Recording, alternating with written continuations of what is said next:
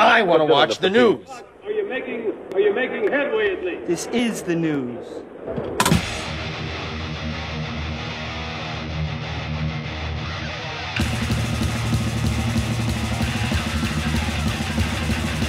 Smack 'em a gob, it's time for the only news that matters.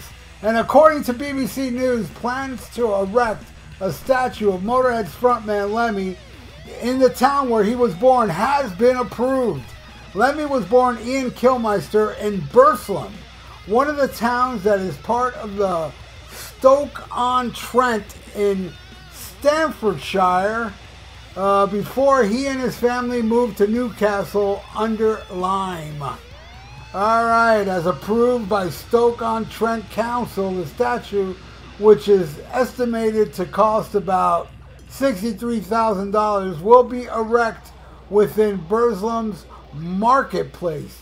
The statue will be a sculpture in uh, Staffordshire clay by international renowned local sculptor Andy Edwards.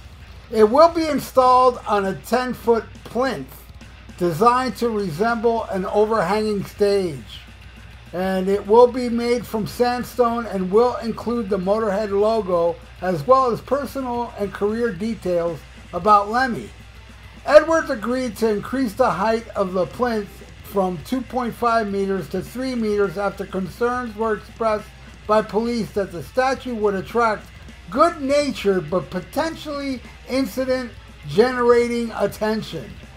The proposed material to the plinth was also changed from polished black granite to sandstone to match the nearby Queen's Theatre and the former town hall. A mock up submitted with the planning application for the proposed Lemmy statue, as it will look in Burslem's marketplace, can be seen here. This is a computer generated uh, mock up of what the statue would look like. Yeah, Lemmy died on December 28, 2015, at the age of 70, shortly after learning he had been diagnosed with cancer. Motorhead had canceled a number of shows in 2015 because of Lemmy's poor health. Although the band did manage to complete the European tour a couple of weeks before his death. In June 2020, it was announced that Lemmy would get a biopic treatment. Wow, I didn't know about this. The upcoming film Lemmy will be by, directed by Greg Oliver, uh, who previously helmed the 2010 documentary of the same name, Lemmy. A custom made urn containing Lemmy's ashes is on permanent display at a Forest Lawn Cemetery in Hollywood, California. So there you go. Thinking of uh, making a statue for Lemmy. And I say, yeah, man, do it. Make a statue in every town for Lemmy, man. I miss Lemmy, and I miss the Ramones, man. I mean, to me, it's like, god damn, man. All the Ramones from the first couple albums are gone, and Lemmy's gone. It's like, man, after they left this world, really, really, do you really think AI would be going on now if Lemmy and the Ramones were still roaming this planet? Hell no, man. I am. I really do think that if the Ramones, they wouldn't have died you know, they would have reunited eventually. I know they did the farewell tour, but come on. What band has ever stuck around? I mean, kept the farewell tour that had no but no of the members die, that they're all still around. What band is that? What band? I mean, every every band that did a farewell tour and never came back is because they died.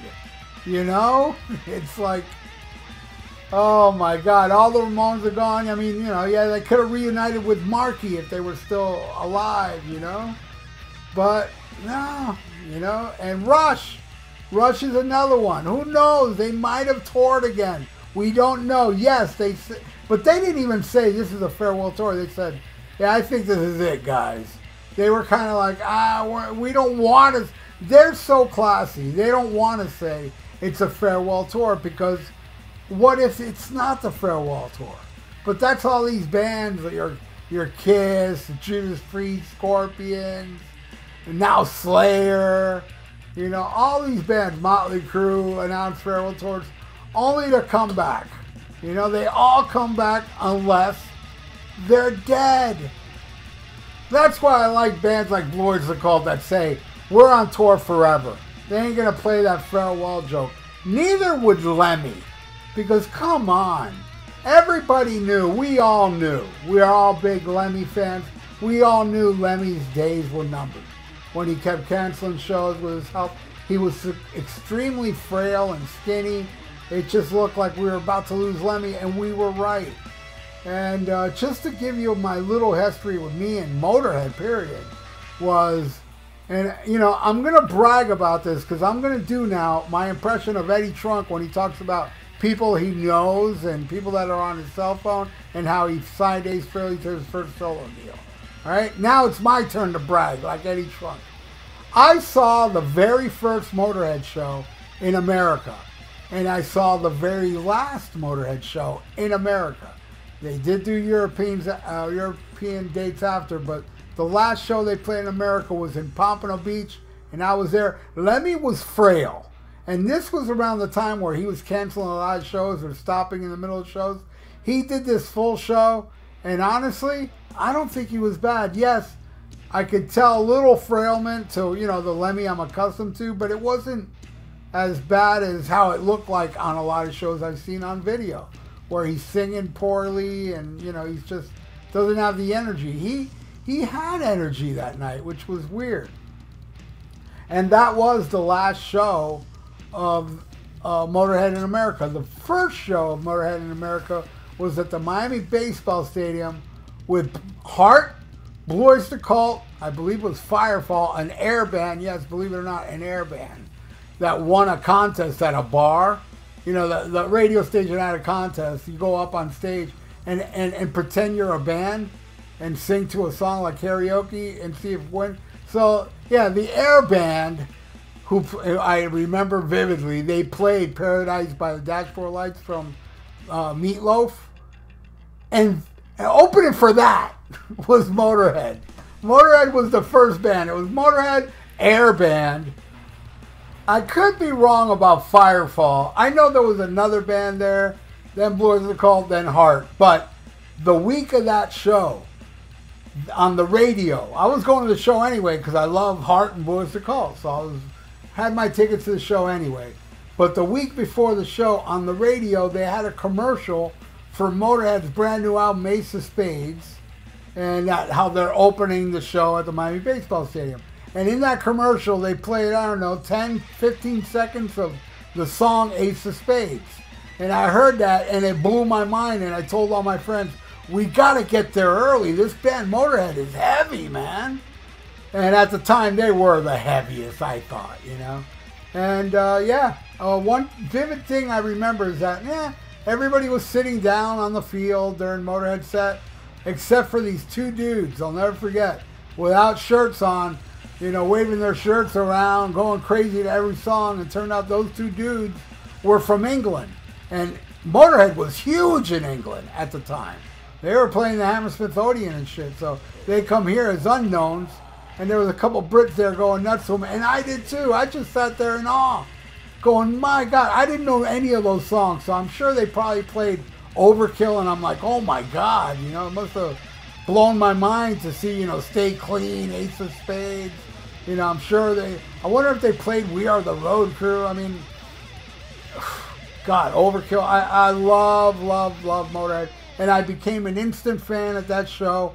I couldn't find Ace of Spades forever till I finally found at a record store that usually didn't serve a lot of metal. They had No Sleep Till Hammersmith. I found that like, I don't know, 10 months later. And I was like, oh shit, Motorhead, finally a Motorhead album, you know? So I bought No Sleep Till Hammersmith, and to this day, that is the greatest Motorhead album in my possession and in my opinion. And uh, yeah, I got to meet Lemmy twice. Well, really three times, but the third time, I'll explain that later. But the first time uh, was they played down here at a bar called, a club called Button South. Opening bands was. Uh, Metal Church and Dangerous Toys. Now that was the tour which it was uh, Alice Cooper, Judas Priest, Motorhead, uh, Metal Church and Dangerous Toys. But when they played Florida, they broke it in half where Priest and and Ju- and Alice Cooper were playing up north, while they came down here and played that, and it was such a loud show. And I remember this was uh, a 1916 tour, and man, I remember Wurzel hurt my hand when he shook it. He man, he shook my hand so hard. I was like, holy shit, man. He doesn't know his own strength. And, you know, Phil was cool. Phil wouldn't dr- sign the drumstick I caught from him, but it's cool because it's Philthy Animal. He's a god. It's all right. He signed my rock and roll album, so I'm cool with that. And, uh, you know, we met Phil, and then Lemmy comes out. This, this was so epic. Lemmy comes out, and he's got two really attractive girls with him. And they're both going with him to the tour bus. And here I am with my two buddies, and we're like, hey, Aunt Lemmy. And Lemmy was cool. He stopped, he signed our stuff, he talked to us for a little while. Well, I'm like, look how cool Lemmy is, man. Taking his time out for his fans, where he's just about to go nail these two girls, but still, he cared enough of his fans. And we sat there, talked to him, and I even said, Lemmy, I saw your very first show in America at Miami Baseball Stand, and he said, I remember that show, but that was not my first time in America. I've been here before with Hawkwind. I said, oh yeah, that's right. I mean, the first Motorhead show. He goes, yep, I remember that show. Yeah, in Miami. It was uh, a cool show. I remember it. I remember it vividly, and I was like, yeah. And then uh, my friend said to him after that, Lemmy, I love Sam Gopal, Seasons of the Witch. Now, Sam Gopal was a band he was in, I guess, in the '60s that I guess he's not very proud of because once he said that to Lemmy, Lemmy just looked at him, shook his hand. All right, guys, I gotta go. So we, we uh, my friend brought up Sam Gopal, and he's like, I'm out of here, and he went with his groupies in there. Then I met him again on Miami Beach, and that was very brief. I didn't want to bother him much. Had him sign a few things. And then the last time I met him was I went on the Motorhead cruise. And uh, but that was not really meeting them. You know, we were all online, and I was with a, a group of my friends, and we all took pictures together with Motorhead. You know, so I didn't really get to talk to him that day. But yeah, I love Lemmy. I love Motorhead. I've been a big fan. I own every single release they've done. I'm not including the countless live albums that that uh, record companies put out, ripping them off and greatest hits and stuff like that. Now I don't own none of that. I own some, like uh, some B side, like from the vaults and stuff like that. Because I'm just a huge, huge Motorhead fan, and uh, yeah, it's sad, man. I did get to see Motorhead a handful of times, and man, one of the best times I ever saw Motorhead was when they headlined the second stage at Ozzfest, and I thought they destroyed every band, even the bands that were on the main stage. Megadeth was on the main stage, Ozzy, but Motorhead to me stole the show the whole day. They were so freaking amazing that night. And I saw them open for Slayer. It was Slayer, Motorhead, and Overkill. I saw that show. I've seen several of them. oh them opening for Black Sabbath, Black Sabbath, Motorhead, and uh, and Morbid Angel. That was a killer show.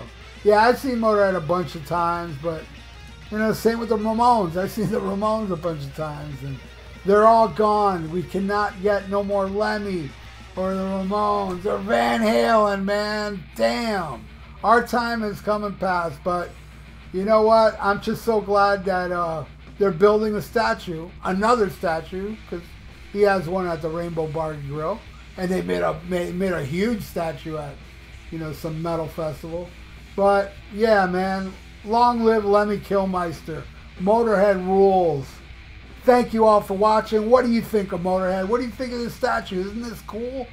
And uh, just tell me what you think. I would love that. And if you're not subscribed to my channel, please subscribe to my channel. And hey, thanks for watching. The only news that matters. Click that little notification bell. I would appreciate that. And hey, like the video. It's good for the YouTube algorithms. So stay frosty. Listen to Black Sabbath and smack 'em a gob. Farewell and adieu to you fair Spanish ladies. Farewell and adieu, you ladies of Spain. For we've received orders for to sail back to Boston. And so never more shall we see you again.